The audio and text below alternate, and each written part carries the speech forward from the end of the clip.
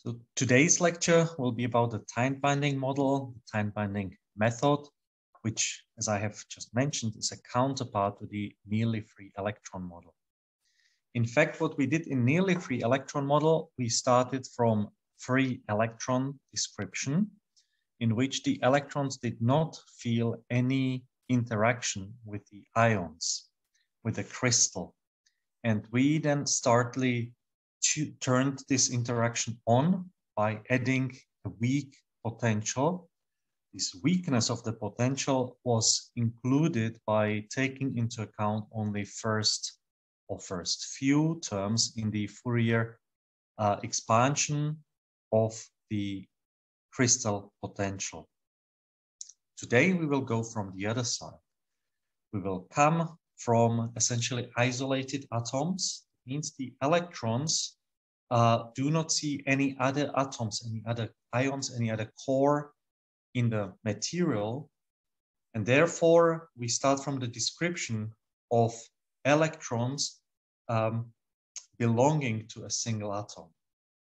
And then we partly weaken this strong attraction to one atom so that the electrons can see also surrounding atoms, surrounding cores, by which they will start interact with the neighboring atoms and they will start forming bonds.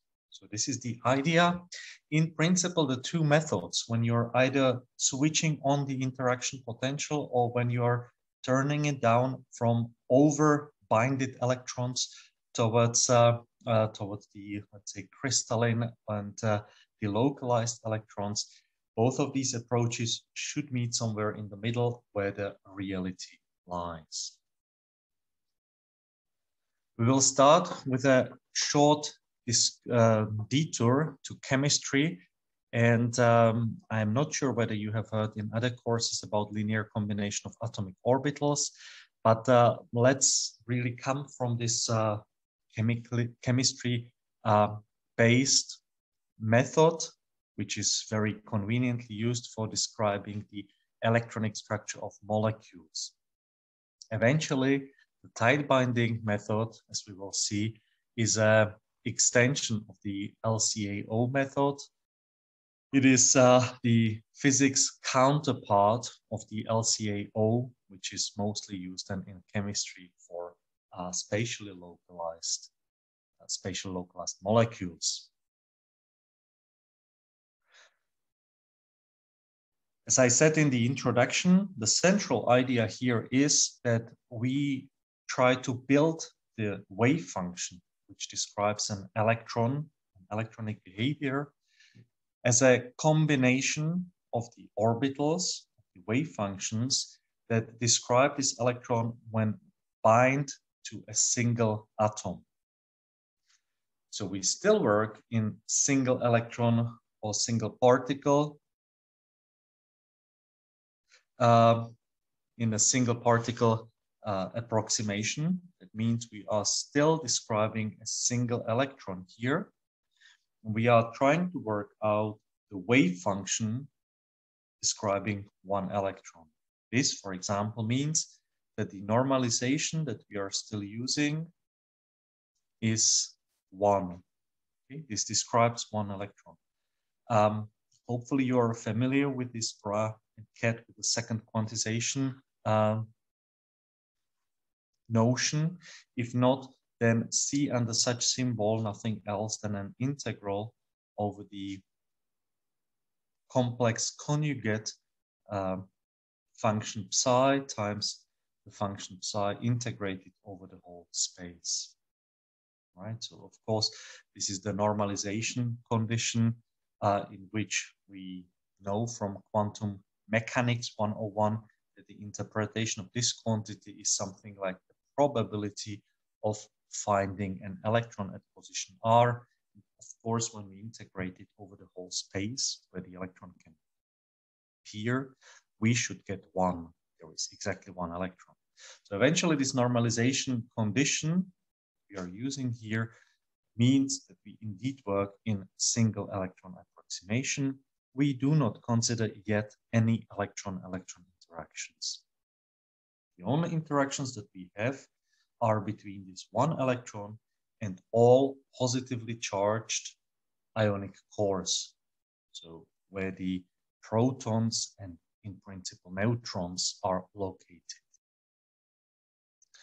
We have a situation where there is just one proton, or let's say one ionic core, so the positively charged, and then we have the one electron orbiting around. This is the most trivial spherically symmetric Schrodinger equation that we can get. We know what are the solutions of such function, that the uh, that there will be a radial part of the wave function plus the angular part of the wave function, which is described by the spherical harmonic functions. Believe you have heard about this before. And eventually those together will create the single electronic orbitals that correspond to the uh, isolated atoms. And those are nothing else than the 1s orbital and 2s orbital and 2p orbitals and so on of the isolated elect uh, uh, isolated atoms when we are building their electronic structure. Again, I believe this is what is known from the chemistry, right? So those are now, for example, J means that we are describing the 1s electron and uh, so sorry, the phi means that we are describing the 1s orbitals and then we sum it over all ionic cores that we have.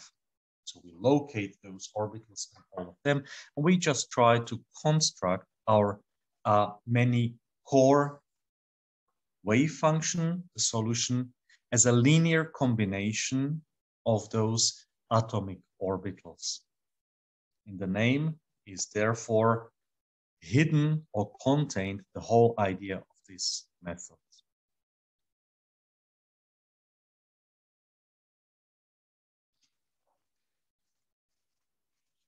Let's try to look at the simplest possible case, and this is H2 plus molecule.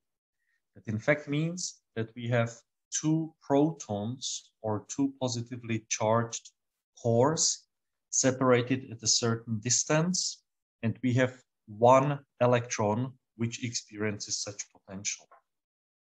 So this is the simplest possible case after having an isolated atom.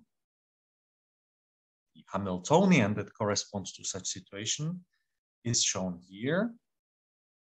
And I do not want you necessarily to be able to write it down, but I want you to be able to describe individual terms of such Hamiltonian when you see it. You should be able to decode that this first part in the Hamiltonian corresponds to the kinetic energy of our electron. The second part, well, that is probably some electrostatic interaction, as we can see from this prefactor, which is present there when we express the whole interaction in SI units. From the charge here, we see that it's an interaction between electron and one positively charged proton, which has the charge of plus E. The electron is located at a position R, and this one proton that interacts with the electron is at a coordinate RA.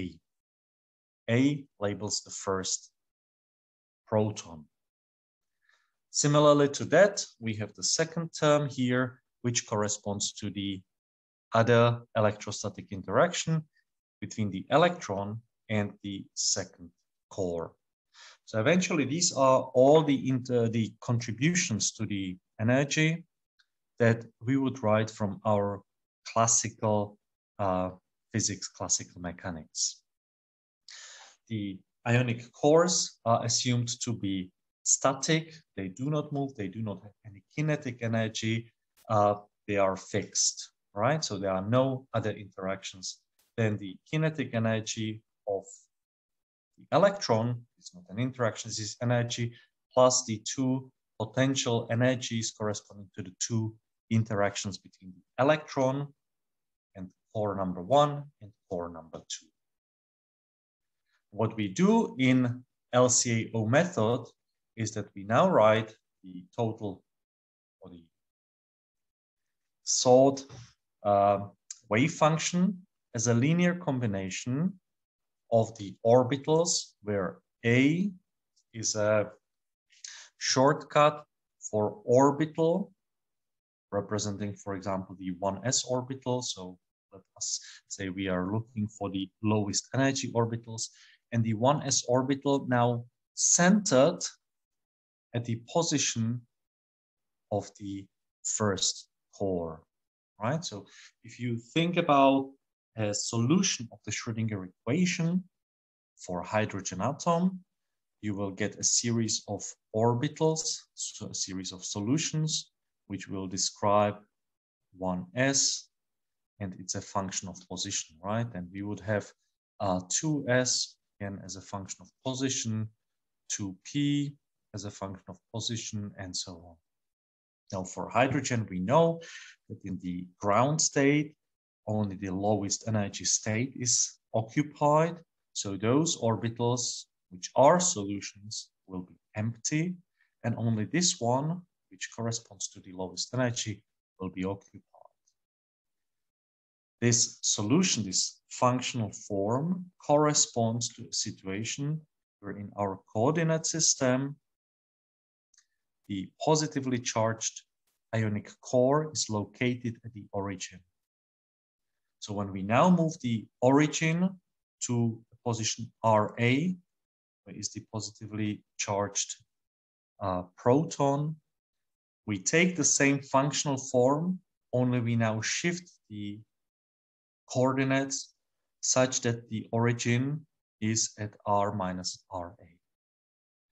Similarly, we take the same function, the same orbital, and shift it or center it at the other proton, proton B, getting another function, which is this phi r minus rb. Okay, so it describes the same orbital just spatially uh, at a different location. What we are trying to do is we are looking for a solution which is simply a linear combination of those two orbitals. Right? So you do not do anything else than you say, well, for an hydrogen atom, we get that the electron orbits around it. And now we say we have this one electron, but we have two different cores. So it can be orbiting here or it can be orbiting here.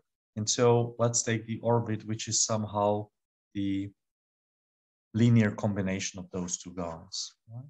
So this is the intuitive idea behind it. So when we place this form of the expected wave function of the expected solution into the Schrodinger equation that we have here, what do we get? Let's say that we have the Schrodinger equation written as Hamiltonian acting on the solution equals the energy on the wave function, right? So this is the Schrodinger equation. The Hamiltonian, uh, sorry, the, uh, the expected wave function of the solution is in this form. So we can write that this is now an Hamiltonian times CA a basis function plus CB B basis function equals energy uh, CA A basis function plus CB B basis function. CA and CB are constants. These are not functions, these are constants. So really numbers in this, uh, in, the, in, this uh, expression. Now what we will try to do is that we multiply this by a bra function a. So what do we get? On the left-hand side is that we get c as a number, we get out of the whole expansion, then we get a Hamiltonian a plus cb, again we get out, and we have a Hamiltonian b equals. And then here we have energy is a number, so we get it out of whole expression. Ca is a number, we get it out, and we have here AA plus energy CB AB. Right? And the last thing that we can do is that we now realize that the basis functions, so the individual solutions for isolated atoms are normalized. That means that A, A is equal to one, similarly B, B is equal to one. So when we would put all of this together, sorry, excuse me one second.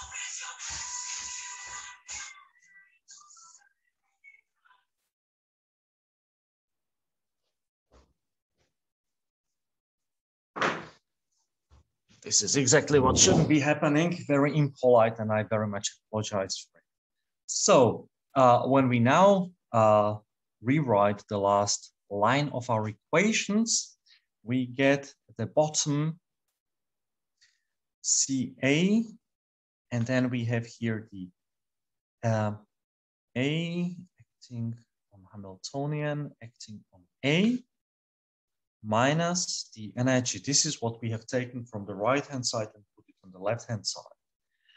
Plus, we have here CB, and we have A Hamiltonian acting on B minus uh, energy. Uh, right, minus energy times A B equals to zero. Fair enough. Um, the last thing what we, oh, not last thing, the next thing what we will do is that we take exactly the same formula as I had there before. We would multiply now the Schrodinger equation instead of the A basis function, we would multiply it by B, which would lead to another equation, CA, and here we would have similar terms, minus energy, and now we have BA plus CB. And here we have B Hamiltonian acting on B minus energy equals to zero. Again, here we have just the energy term because of the normalization of the orbital. Hmm? What is this? In fact, these parts are all numbers, right? What is it? Well, Hamiltonian is an operator we see here.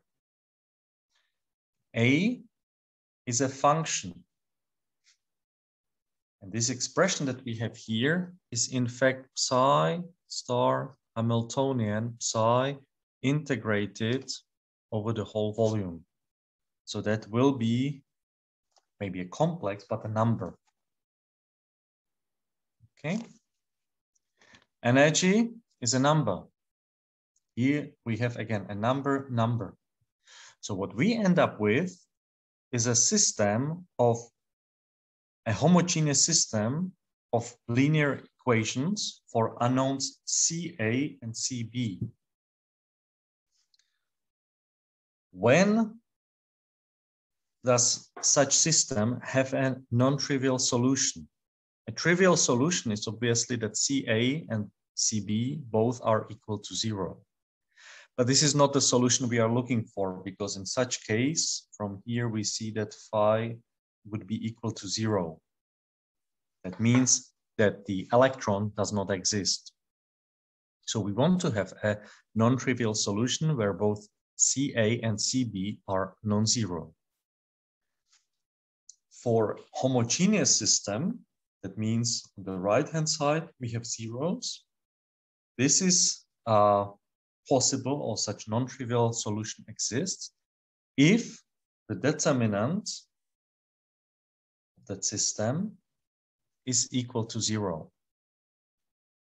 This leads to the equation for the unknown energy. Because in fact, we know that the energy is a number, but we don't know what is its value. Right? So the one missing equation that we have now for the whole solution, when we are looking for the coefficient CA and CB, to have the wave function as well as we look for the energy E, the eigenvalue, energy of our solution, uh, we are now going to obtain the third equation that we need. Finally, we do one more substitution. We will name some of those integrals. We name them as Coulombic interaction or Coulombic integral, where we have the Hamiltonian acting on either A and A state or B and B state. We call them resonance integrals if we have different states on each side of the Hamiltonian. And those integrals that appeared on the right-hand side, and we took them on the left-hand side, um, afterwards we call uh, overlap integrals. So now using those letters, alpha, beta, and S, this determinant can be very simply written as, uh, or we obtain the uh, the equation which uh, which corresponds to the zero determinant, which then provides us with two solutions. Two solutions for the energy, E plus and E minus. So out of those, we will get a state with higher energy and a state with lower energy. Finally, when we are trying to uh, find the solution, we then uh, would see that from the symmetry of the problem, there is a certain relationship between those two coefficients, CA and CB. So they are either identical numbers or they are uh, antisymmetrical. They have the opposite sign, but the same absolute value. And putting all of this together, together with the final requirement that each of those states, which corresponds either to the uh, bonding interaction, which yields the lower energy, or the antibonding, which would yield the higher energy. Uh, so uh, each of those states should correspond to one electron. So we get the final normalization function uh, that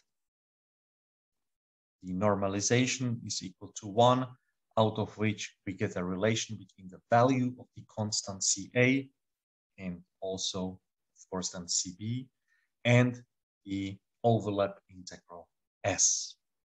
Right, so overlap integral eventually quantifies how far are our two uh, cores if the cores are far away, then the overlap integral, which is once again s equal a over b, which is an integral of phi i star times phi b over the whole volume. So if those two cores are far away, we know that the functions might look something like this around the core, where the core sits here uh, then the overlapping integral is going to be close to zero. Well, if they are close to zero, then both of these solutions that we obtained are identical with CA plus and minus are the same. We would also see from here that the, uh, the uh, energies that we will obtain will be identical and eventually will end up in a solution that the electron sits either on atom A or core A or on the core B. Only when we put the cores close together and we get the second core and try it with a different color, we get it somewhere here. We have the second solution of this form and there starts to be a non-zero overlap. A new phenomena arises and the electron might appear not to be on A or only B, but somehow to be in between or to be shared or to jump from one core to the other core and eventually lead to a binding between these two cores.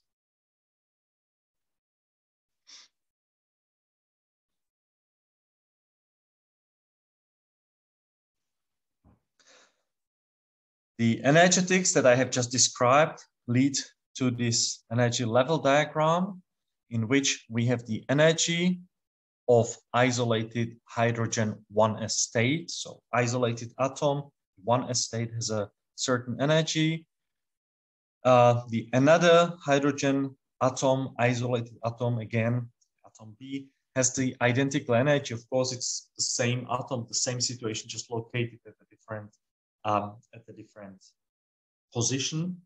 Now, when we put those two pores close together, they form the antibonding orbital. So they form a state that this electron can occupy and has even lower energy than to be on either A or B. We call this the bonding orbital. Then this will indeed lead to formation of the bond between these two atoms.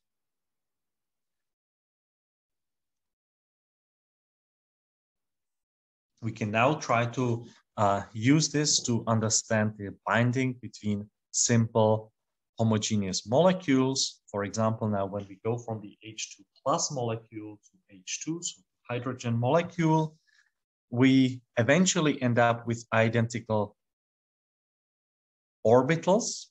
So the scheme here is the same, now we have two electrons. They do not interact. They have to fulfill the Pauli exclusion principle in the sense that each state can be occupied maximum by two electrons with opposite spins. Well, here we are still in a lucky situation because the one electron coming from one hydrogen and from the other hydrogen, they can combine in the anti-parallel spins both of them located in the bonding orbital.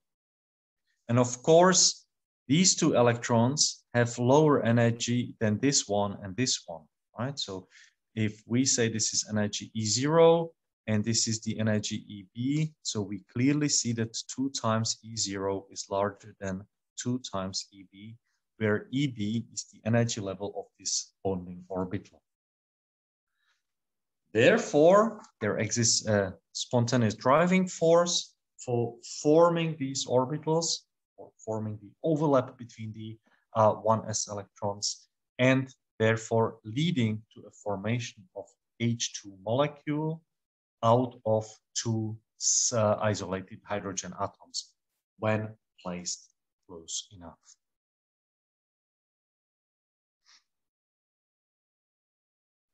We can use the same scheme also to understand or at least get some uh, intuitive uh, understanding why helium doesn't form any molecule, why there is no helium-2 molecule. Well, simply each helium brings two 1s electrons. And so two helium atoms bring four electrons. However, in the one s or one sigma orbital, I can put maximum two electrons. Then I have to start occupying the antibonding orbitals, those with the higher energy. It turns out in this particular case that the energy gain with the bonding orbital is smaller than the energy disadvantage of populating the antibonding orbital. So of course, then if we say this is delta minus, this would be called delta plus, then, and this is energy level E0, so four times energy E0 on one hand side, this would be the two isolated atoms, or we have two times E0 minus delta minus plus two E0 plus delta plus would lead to the fact that since this part is larger than that, we will get that this is larger, the right-hand side energy is larger than the left-hand side. And the energy preference is for two isolated atoms instead of forming a hypothetical helium-2 molecule. All right.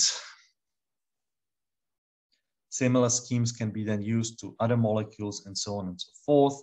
Uh, but this is nevertheless uh, basic chemistry and I will skip this and rather go to what is important for us, physics treatment, the tight binding method. We start from the same starting point. We start from an isolated atom. So isolated atom is described by an atomic Hamiltonian. This HA describes one single atom. And the solutions corresponding to this one single atom are the atomic orbitals. So to this end, it is identical with what we had in the LCAO method. We see that each of them also corresponds to exactly one electron, so they are normalized.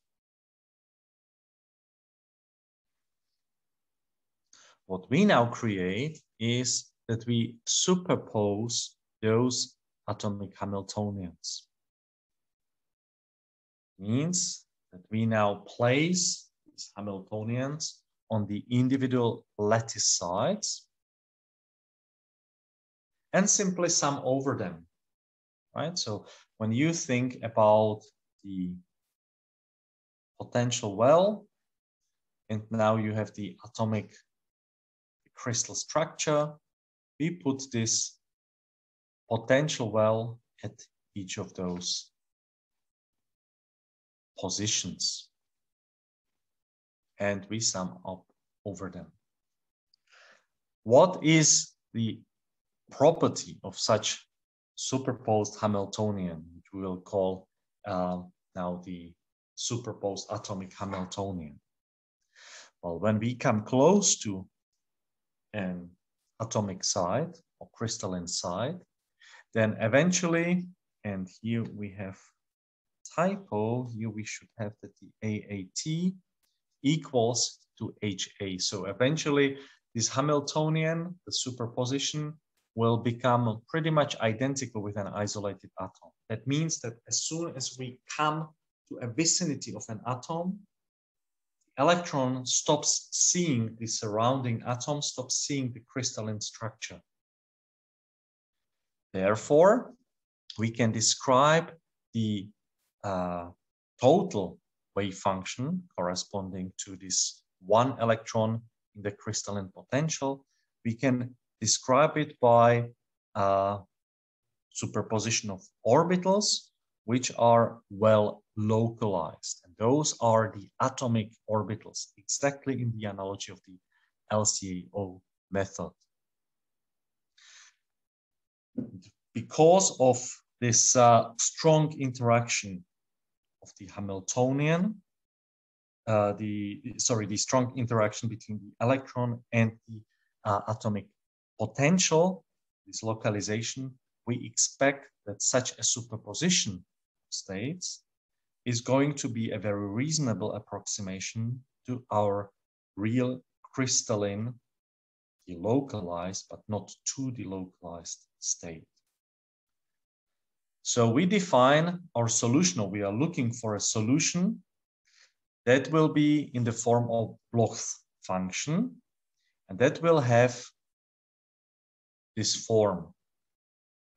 So we take here the individual orbitals, localize them at all atomic sites, exactly as we did it in uh, for, for the two atomic H2 plus molecule, where we localize the one state at one and the other uh, atom. And on top of that, we put here a certain prefactor this prefactor is there in order to fulfill the Bloch's theorem. Hopefully you remember what the Bloch theorem is. This is what we based our solutions uh, already in the nearly uh, free electron method on. The Bloch theorem says for crystalline potential, for lattice periodic potential, all the solutions of the Schrodinger equation with such potential should be in the form of plane wave times a lattice periodic function. So this is a lattice periodic function. This is what we used last week also then to uh, do the nearly free electron treatment, which allowed us to do this. Uh, a consequence of this Bloch's theorem and searching for wave functions in this form is the wave function fulfills when I move by one lattice vector, the wave function changes by the plane wave prefactor or by the plane wave phase right? So now this is our solution and that this relation holds is, let's say, a consequence of the Bloch's theorem, or can be also treated as another definition of the Bloch's state, right? The capital R here is the lattice vector. It is simple to show that if we define our wave function as such linear combination of the atomic orbitals, that it fulfills the Bloch's function. I leave this for you, probably put it as one of your uh, homework tasks that you can show, that you can prove this. So when we now know in which form we are looking for the solution, again, in a simple form written here, we see that this is a superposition of the individual atomic orbitals. By J, we label the states, one S state, two S state, two P state, and so on. By capital R, we label at which atomic site is this orbital located? Eventually, this is a short notice or short uh, shortcut for uh, for writing this function phi j. It's really the functional form of the orbital. We multiply them by the plane wave, sum over all of these exactly the same way as we did in the LCA. Right.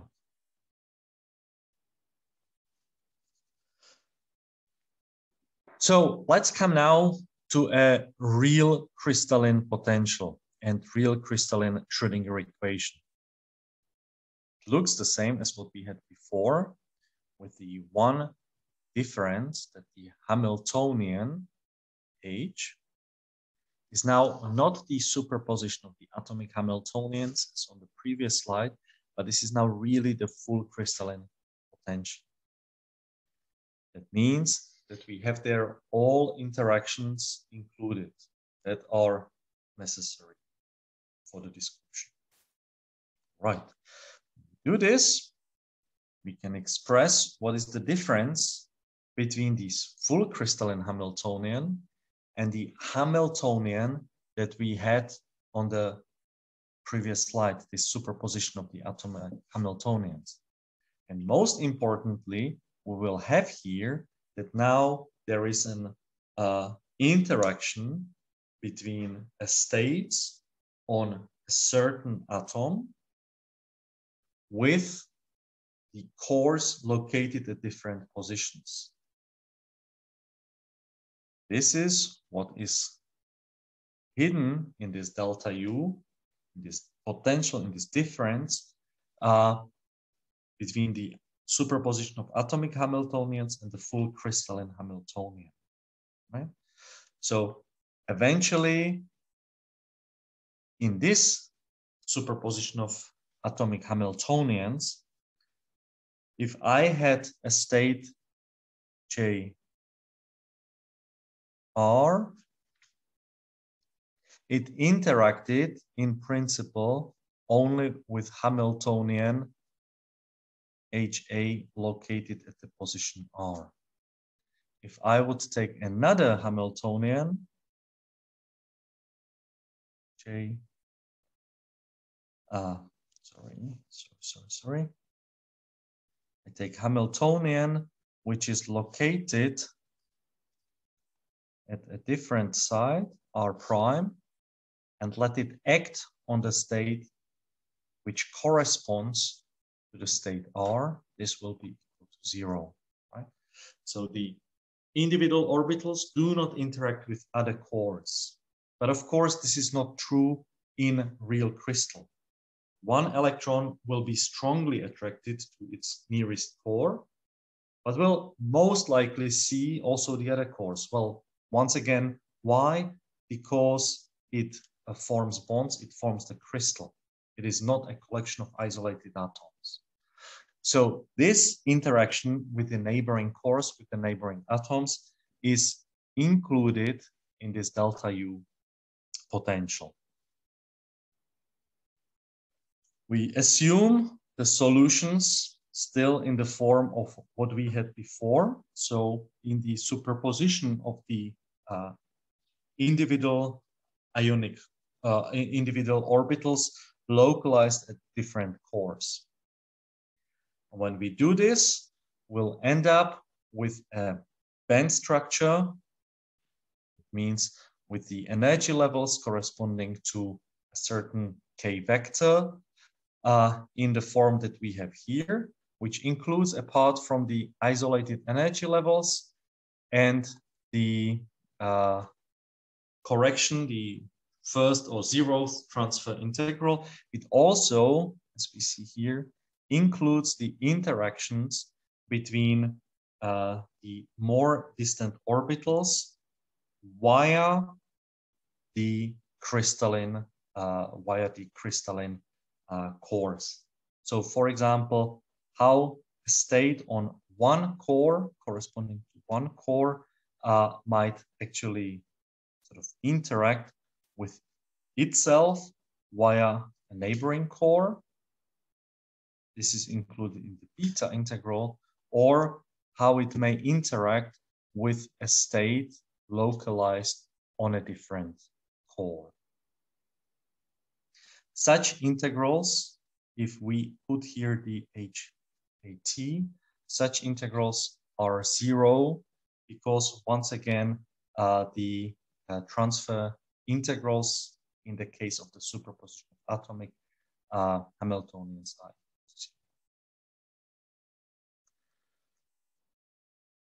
What does this mean?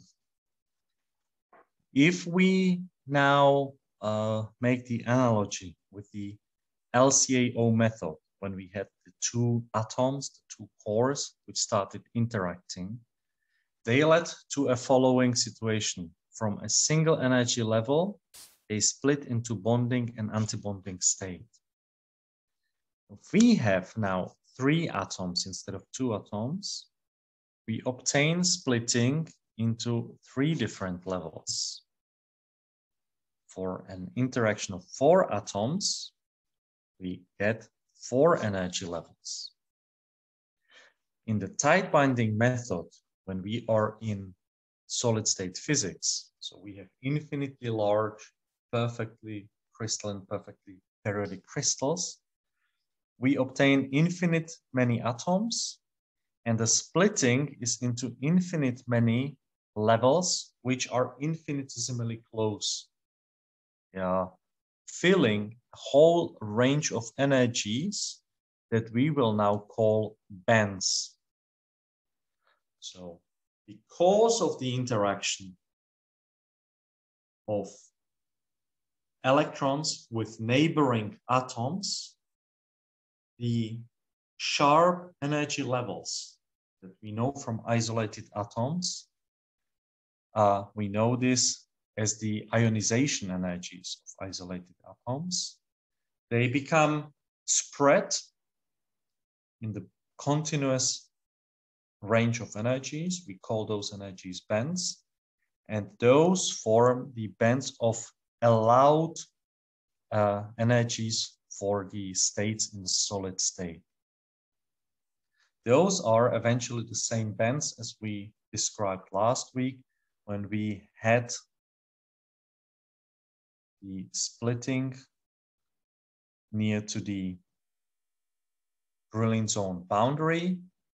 We obtained somewhere here a band of energies which were all allowed. So for each of these energies, I would find a state which corresponds to such energy. At the same time, I had a band of states where no energy, where no states uh, could be assigned to this energy. I had the band of forbidden energies or band gap in my uh, electronic band structure.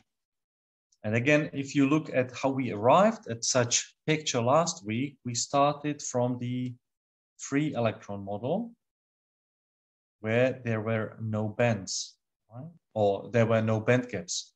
So eventually all energies could be assigned to a certain state. This is exactly what the free electron model does. The energy dispersion relationship there is that E equals h bar squared k squared over 2m. So for each uh, energy, I can find corresponding k vector, which describes the state of an electron.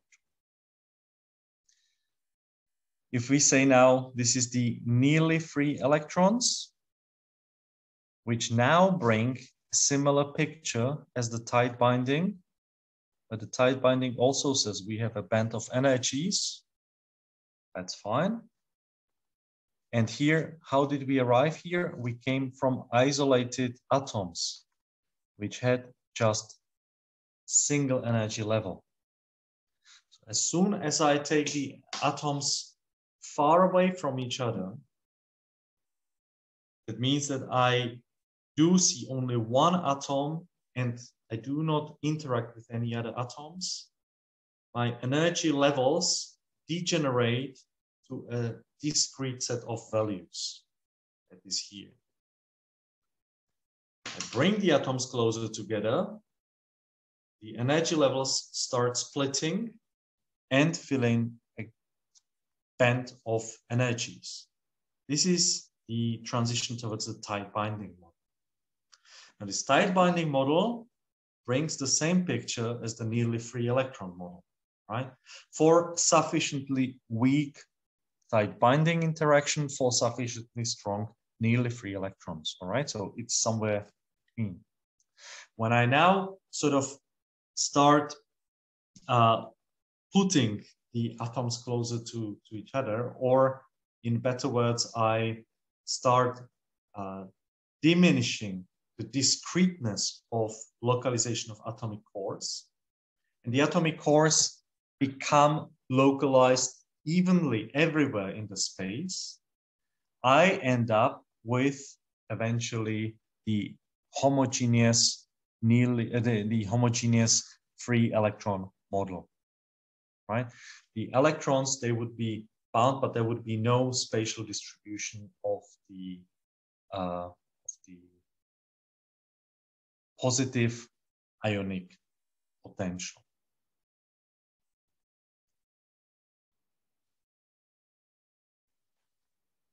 from what I said, from bringing these uh, atoms together, we can see that somehow the transfer integral, which is related to how really spatially the individual or isolated atomic orbitals overlap, uh, this will be a measure of the bandwidth. The further apart are the atoms. The smaller is the overlap, and therefore more isolated atom-like the bands will be, the more flat the bands will be. So the smaller will be the bandwidth. The narrower would be the bands. With the uh, limiting case that I isolate the atoms to infinity, and my finite bandwidth will degenerate a single energy line.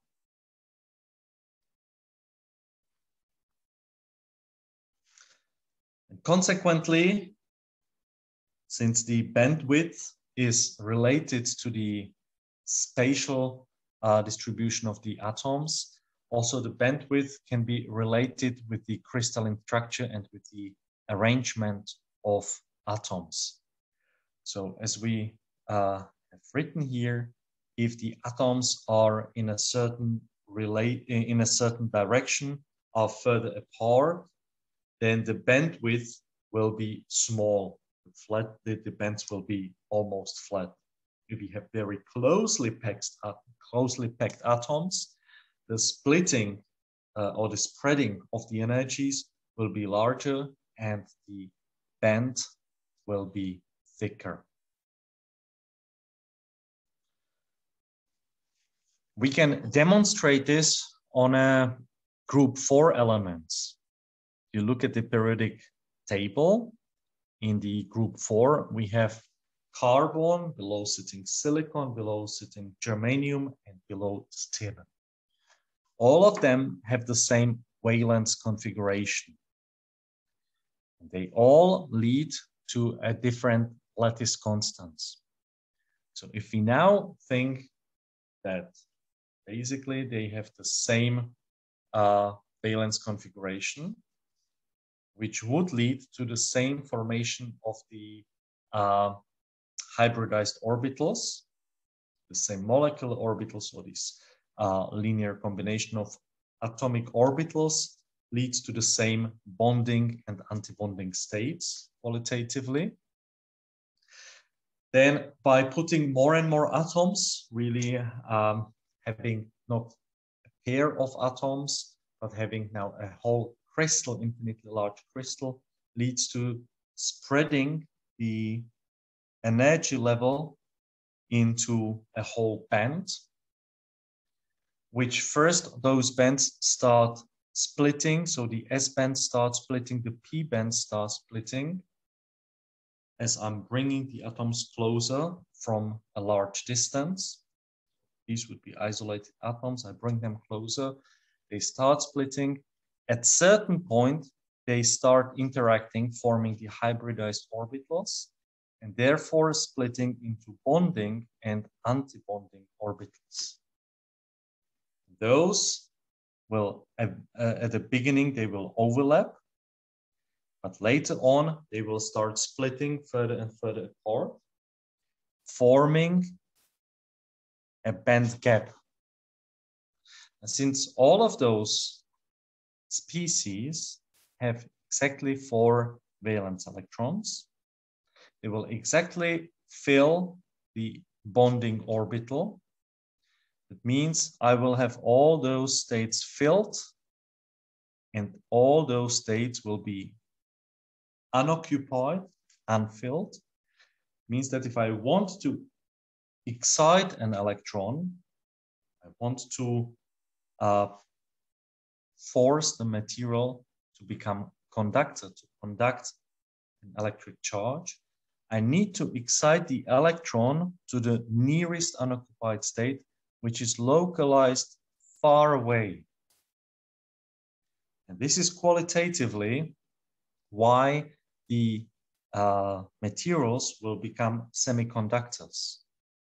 If I now increase the lattice spacing and I move here, I might enter a state where there is no separation between the valence and conduction band, which means that if I have those states occupied, the nearest unoccupied state is just above. It does not cost me almost any energy to excite the electron and to make it a conduction, conducting electron. So in this case, in this range, I will obtain metallic behavior. Now, if you look at this table that we have on the right-hand side here, we compare that when we go from carbon, represented in the diamond structure, over silicon, germanium to tin, we increase the lattice constant significantly from three and a half angstrom to six and a half angstrom. And indeed, we come from a range of wide band gap to a small band gap and to eventually even a metallic behavior of tin. So these arguments that we have brought up here, the understanding and the insight, allows you qualitatively to understand a behavior of different classes of materials spanning from semiconductors to metals, the relationship between those materials, material classes, then their crystalline structure, the size of the lattice constant, potentially you would expect, for example, that application of pressure means making the lattice constant smaller might, in the case of tin, shift it in the range when it would become a semiconductor. So you might have this metal semiconductor transition. And all of this is based on relatively simple qualitative arguments of how are we building the band structure, the description of the electronic uh, wave function of an infinitely large periodic crystal out of our single uh, atomic orbitals. And that brings me to the end of today's lecture in which we introduced the tight binding method as a physics equivalent for the chemistry localized uh, linear combination of atomic orbitals. Uh, we described terms such as Coulombic or resonance integrals and um, very importantly, the overlap integrals, which describe how the orbitals localized at different ionic cores, how do they overlap so they indeed correspond with the size of your crystalline structure with the lattice parameter. In terms of isolated molecules, this led to a formation of bonding and antibonding states, which further on by increasing the number of atoms would lead to a formation of the whole band. So you have a whole band of bonding and whole band of antibonding states um, those might or might not overlap, really depending on the individual values of the uh, resonance Coulombic and overlap integrals. In the tight binding method, we, uh, we, we followed the same route. Eventually, we created the atomic uh, Hamiltonian, which was an overlap of the or superposition of the isolated atomic Hamiltonians. And then we added the perturbation corresponding to the difference between the superposition and the real crystalline Hamiltonian, which led again to the definition of the transfer integrals, which allow us to reconstruct the crystalline band structure out of the single atomic uh, single atomic values, eigenvalues, and eigenvalues. And at the very end, we briefly discussed the formation of bands. Again, now coming from the isolated single values towards the band structure as a counterpart of the uh, nearly free electron model, where we came from eventually one band uh, of energies, where all energies are accessible. And by switching on the potential, we then started forming the band gaps so now we come from the other side where essentially we have just a few discrete values of energies. And by switching off or, or weakening the interaction between electrons and the corresponding core, we uh, start splitting these uh, single valued energy levels into the bands.